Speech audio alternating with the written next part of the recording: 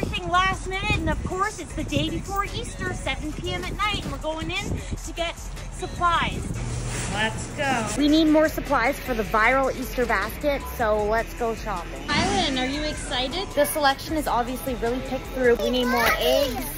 Big spin. Whoa! Come on. It's the Easter bunny. Here we go. Let's make the viral Easter basket.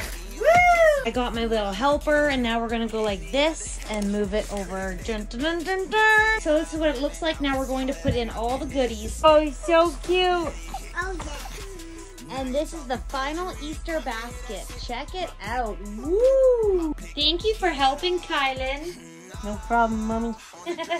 now the Easter Bunny just has to come and lay these eggs in the yard. And uh, I'm going to try getting this out the door. Woo!